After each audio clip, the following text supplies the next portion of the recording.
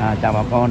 À, giờ mình đang ở bến xe An Sương à, đi à, vòng quanh à, Việt Nam bà con ha.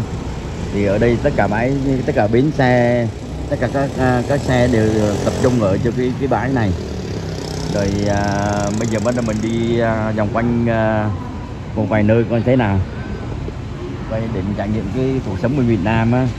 Khi mình chạy tới đám à, trên đường đi tới đây mà xe cộ ngắn nhất là cái ờ, cái xe Honda đó. Honda nó chạy xa xa ra, ra lấn nhiều cái lấn len này kia là ngán dễ sợ luôn. Còn nhưng mà cái xe bus này người ta chạy hay quá chừng đi.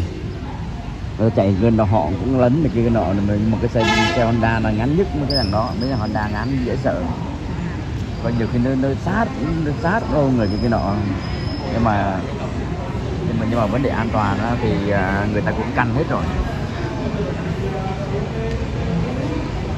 à, vấn đề an toàn người ta cũng căn hết trơn trọi để coi như chạy cũng không có sao hết.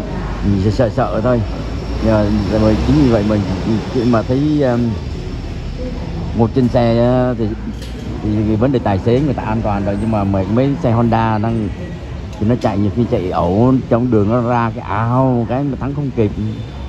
Nhưng mà mấy người tài xế thì họ mắt họ tinh tay lái họ nhuyễn dễ sợ rồi vấn đề an toàn thì ờ, mình thấy cái, cái Honda cái, cái đáng ngại nhất. Mà Honda ở Việt Nam thì quá chi nhiều. Rồi tới Sài Gòn nó khủng khiếp luôn. Còn nguyên một cái đường phố toàn xe Honda không?